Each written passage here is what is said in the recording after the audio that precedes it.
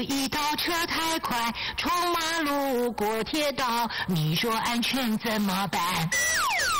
为了高龄者安全，步行时请走斑马线，别随意穿越马路，更要遵守号志，不要闯越平交道、快车道。夜间出门记得穿亮色系服装哦。关心长者好温馨，安全有秩序。以上广告由交通部道安委员会与台中市政府新闻局提供。各位啊，没做大